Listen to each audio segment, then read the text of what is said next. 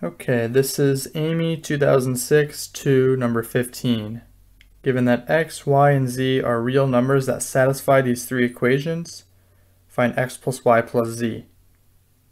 So this appears to be an algebra problem, but if you try any sort of substitution or elimination or squaring any of these equations, things don't work out very well. There's just too many square roots and algebraically this is just a mess. So it's time to try a different approach because this is the AIME, this is a last five problem, so it's going to require some clever solution to solve. So first thing I noticed, 16, 25, and 36, those are all perfect squares. And Moreover, we have a square root of the difference of two squares. That tends to remind me of Pythagorean theorem. So I'm going to draw a right triangle.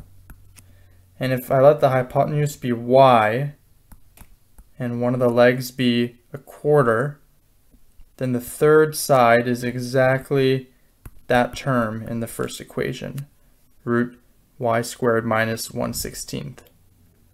And actually the second term is just like that, except the hypotenuse is z.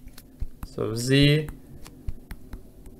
quarter z squared minus 1 over 16.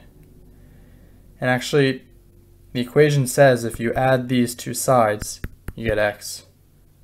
So the heights are the same. Why don't we just combine these two triangles? Like so.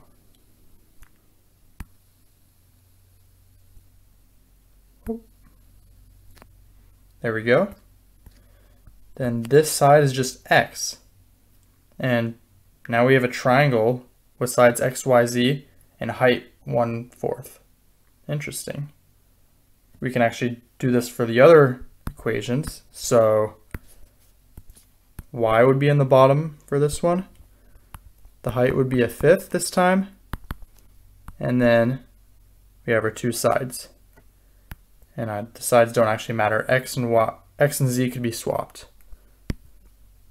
Same for the third equation. This height is a sixth down to side Z and now we've transformed three, these three equations into three triangles. Or are they three triangles? They all have the same side lengths. So this is actually the same triangle. We just now know the length of each altitude. So we draw a triangle. I guess we can put x on the bottom and we know the length of all three altitude.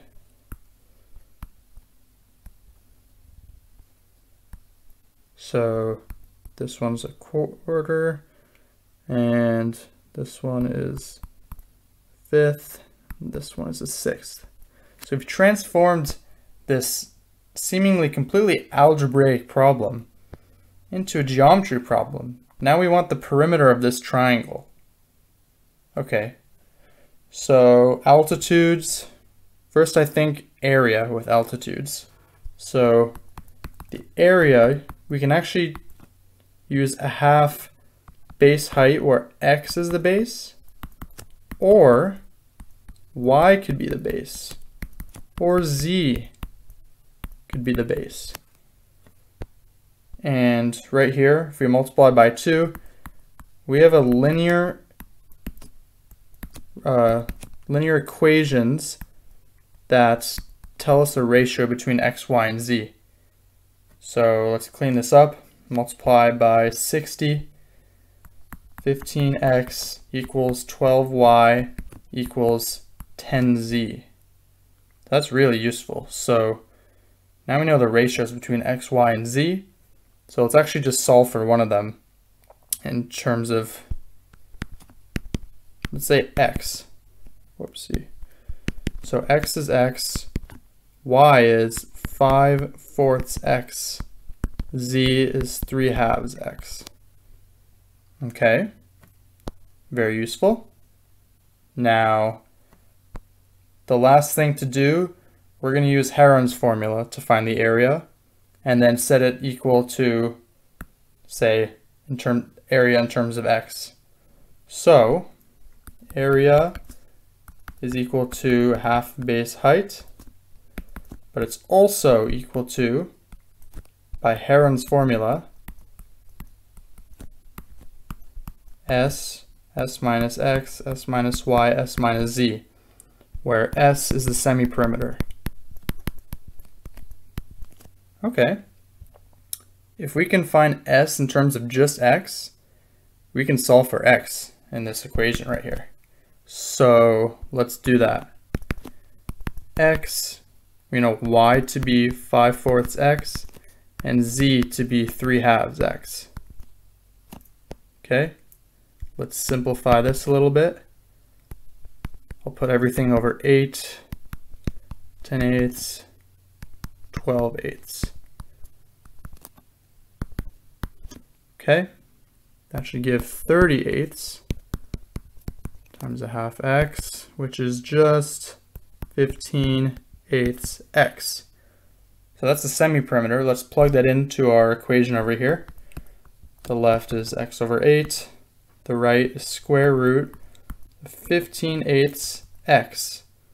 And then 15 eighths minus 1 is 7 eighths x.